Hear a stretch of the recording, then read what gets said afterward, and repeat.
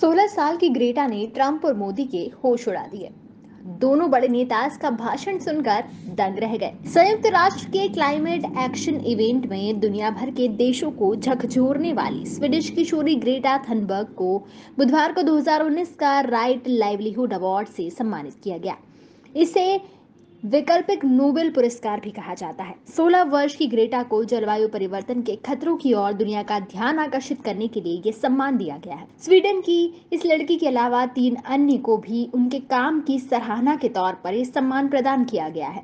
इनमें हुतुकारा Yanomami association की दावी कोपनावा भी शामिल है। ये एसोसिएशन ब्राज़ील में अमेजन के जंगलों और वहाँ रहने वाले आदिवासियों के संरक्षण के काम में लगी है।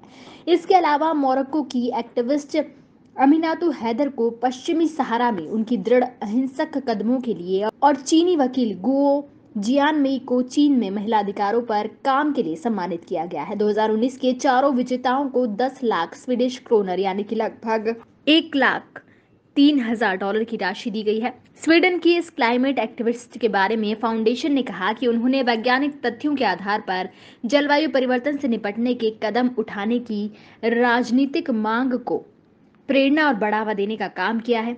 नोबेल शांति पुरस्कार के लिए भी नामांकित की गई है 16 साल की थुनबर्ग इस धारणा को चरितार्थ करती है कि हर किसी में बदलाव लाने की शक्ति होती है उनकी मिसाल में हर तरह से लोग राजनीतिक कदमों की मांग करने के लिए प्रेरित और सशक्त बने हुए हैं। थुनबर्ग ने अपना आंदोलन 20 अगस्त 2018 को तब शुरू किया जब वो स्वीडन की संसद के बाहर अकेली ही धरने पर बैठ गई।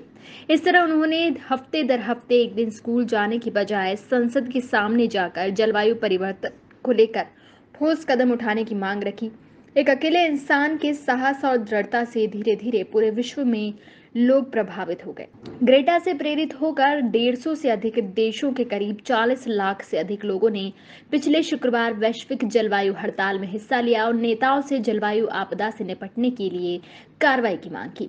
वार्षिक राइट लाइवलीहुड अवार्ड दिए जाने की शुरुआत उन्नीस सौ अस्सी में की गई थी और इसके संस्थापक एक स्वीडिश जर्मन समाज सेवी याको फॉन वे स्कूल थे, जिनका मकसद उनको सम्मान देना था, जिन्हें नोबेल पुरस्कार समिति नजरअंदाज कर देती थी। इसलिए इसे वैकल्पिक नोबेल पुरस्कार के तौर पर पहचान मिली है और ग्रेटा ने अपने आंदोलन से इस पुरस्कार को subscribe our channel and press the bell icon for more updates